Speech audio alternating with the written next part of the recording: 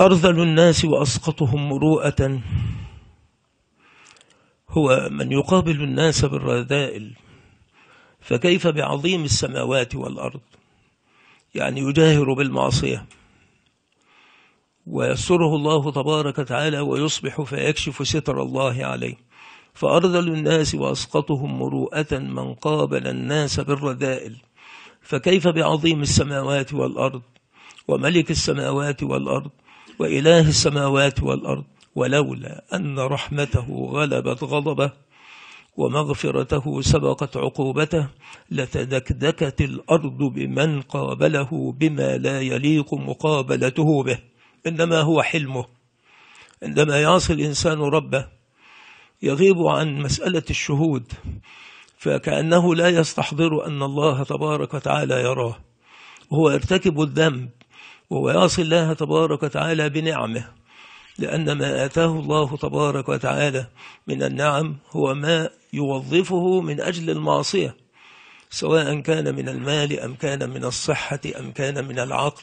كل ذلك من نعم الله تبارك وتعالى على العبد والعبد بعين ربه تبارك وتعالى وبنظر ربه تبارك وتعالى إليه يستعمل تلك النعم التي آتاه الله تبارك وتعالى إياها في معصية الله رب العالمين. لولا أن رحمته غلبت غضبه ومغفرته سبقت عقوبته لتدكدكت الأرض بمن قابله بما لا يليق مقابلته به. لولا حلمه ومغفرته لزلزلت السماوات والأرض من معاصي العباد. إن الله يمسك السماوات والأرض أن تزولا ولئن زالتا إن أمسكهما من أحد من بعده إنه كان حليما غفورا. فتأمل ختم هذه الآية باسمين من أسماء الله تعالى وهما الحليم والغفور. إنه كان حليما غفورا.